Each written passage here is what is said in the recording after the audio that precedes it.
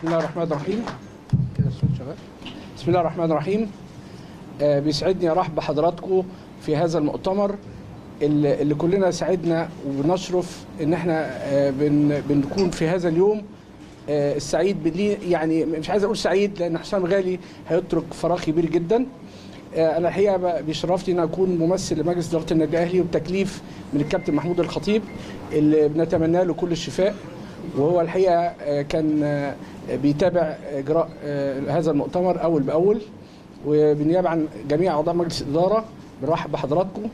الحقيقة آه، تكريم الكابتن حسام غالي آه، حسام غالي قيمة كبيرة جدا للنادي الأهلي. إنجازاته ومساهماته في تحقيق الأرقام القياسية اللي النادي الأهلي وصل ليها. النادي الأهلي وصل لهذا آه، المستوى العالمي بأبنائه اللي بيم- بيمثلهم حسام غالي. حسام غالي بيعتزل النهارده بس إحنا بنقول إن شاء الله لازم يكون له دور وما زال هو له عنده آه، قدر كبير من العطاء. بنت كل التوفيق سواء آه، في المجال ال- ال- الخاص أو المجال العام في خدمة النادي الأهلي برضو.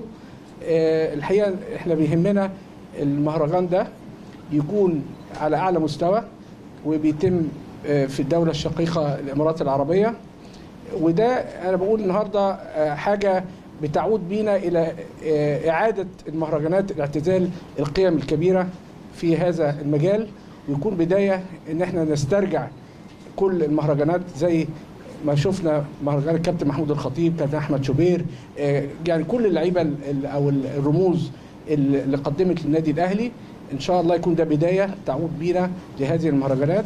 وإحنا بنتمنى للكابتن حسام كل التوفيق والنادي الأهلي الحقيقة ما بيبخلش عن أبنائه في كل الإمكانيات سواء داخل الملعب أو خارج الملعب.